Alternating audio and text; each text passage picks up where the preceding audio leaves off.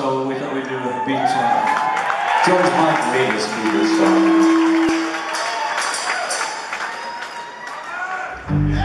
He thought we did it better than the Beatles.